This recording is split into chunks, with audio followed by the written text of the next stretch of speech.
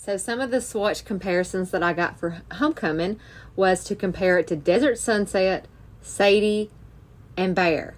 And since Ballerina kind of looks to be in that same group, I threw that in for good measure. you know me, I'll swatch it if it's standing still.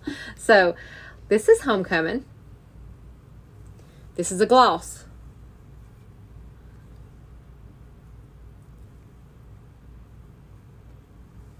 That's Homecoming.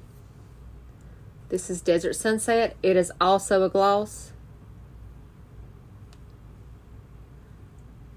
A little more pigment. Pigment.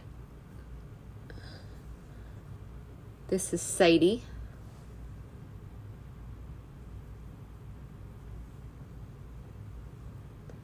I'm really trying to swatch these so they'll show up. This is Ballerina. This is a semi-gloss.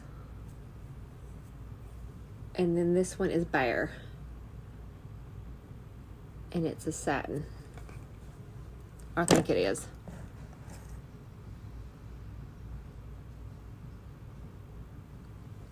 So, Homecoming, Desert Sunset, Sadie,